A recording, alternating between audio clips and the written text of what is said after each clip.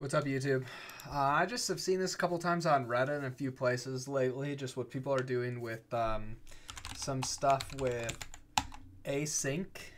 I'll quote async uh, from libuv. You can check out some info about that. Um, you can read the libuv docs or you can check it out uh, in here, but you'll see people doing this this little thing here, and I, I think they think that this is a trick.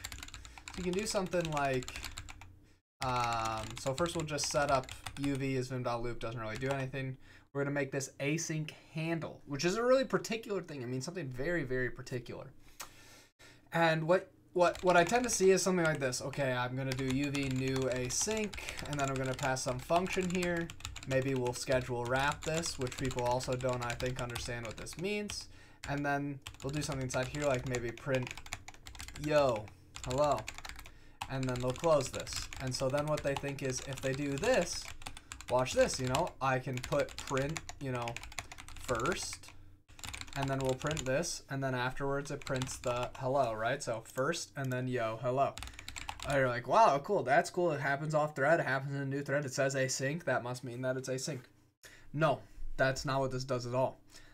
NeoVim structure is that it's an event loop parses new messages and things inside the event loop, and then attempts to handle each of those things inside of the event loop, right? Each of the events. That's what it does. NeoVim has one, re read it, just this many, this many threads to execute on. So when it's doing CPU things, you're going to execute in this thread. And here's how I can prove it. Let's do something like this. uv.sleep 1000. This will sleep for one second. So if I run this and I try and um, move my cursor up and down, right? I won't be able to do that during this time. Uh, so let's, we'll get rid of this just to show what's going on here. And when I press K, I'm not moving, and then it stops, right? See? So this actually is getting run on this thread. So this is not helpful at all in the case of like making computation or CPU bound tasks get moved to some other thread. You're actually not doing that at all. You're just delaying it to some later time in your execution. So for example, if you put a bunch of things inside of some function here and then run it, then it will just uh, run that later in your startup. It'll just run it on the next tick that the event loop is free, effectively.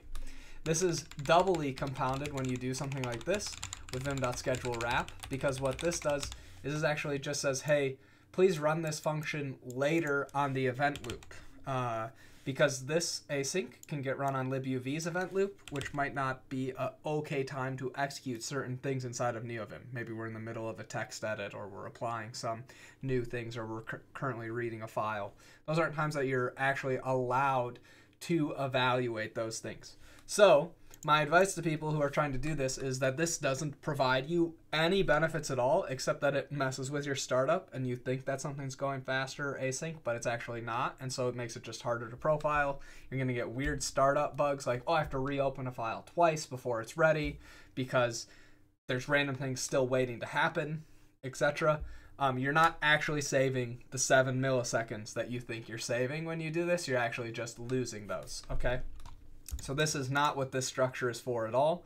It's actually to create a handle that can be passed between actual threads so that you could send when you want something to execute. And if you read through libuv's docs about what this does, you'll see actually that async send will sort of coalesce these different calls. So this is what is good for this. If you had a multiple thread and you just wanted to run this once, you could use this to communicate back and forth. But this is not a helpful method for doing anything to uh, make your code async or run in multiple threads. That's not this at all. Anyways, that's it. I love you all. Bye.